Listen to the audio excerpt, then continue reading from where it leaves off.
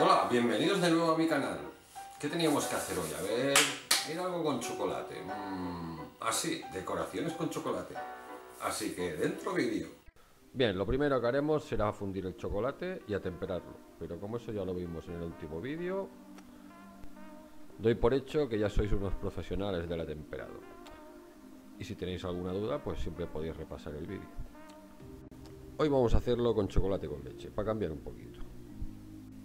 Vamos a empezar con una decoración sencilla, pero que queda muy elegante.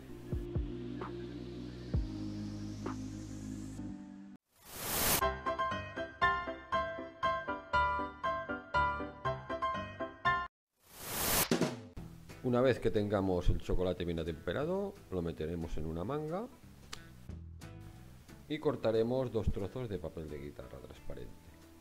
Seguro que pensaréis, ¿qué es eso del papel de guitarra? Pues bien, son unos plásticos finos que se utilizan para trabajar con el chocolate. Luego os dejaré un link en la descripción para que sepáis dónde los venden. Son muy baratos y la verdad es que dan muy buenos resultados con el chocolate. Bien, cogemos la manga y vamos formando puntos que sean más o menos del mismo tamaño. Y vamos dejando una buena separación entre ellos. Ahora cogemos el otro trozo de plástico y lo colocamos encima. Y lo que haremos ahora será ir presionándolos con algo plano, como por ejemplo un bol. Intentaremos ejercer la misma presión en cada uno para que queden todos del mismo tamaño. Ahora buscaremos algo que tenga una forma cilíndrica para darles la forma. Yo he utilizado un rollo de papel film, pero podéis utilizar cualquier otra cosa. Botellas, moldes, lo que veáis que pueda darle una forma como de curva.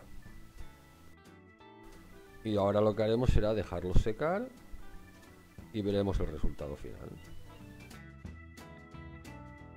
Bien, el chocolate parece que ya se ha secado y aquí tenemos el resultado final. Veréis que es muy fácil despegarlo y como veis ha cogido perfectamente la forma curvada que buscábamos. Ahora ya tan solo nos queda ver cómo queda en un póster. Os había dicho, súper elegantes. Y en el próximo capítulo aprenderemos cómo se hace esta decoración.